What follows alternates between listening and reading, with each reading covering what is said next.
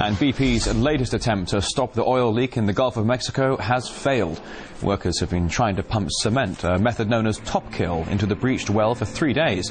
The next option will be an attempt to stem the flow using a containment valve. Engineers say that work will start within a week.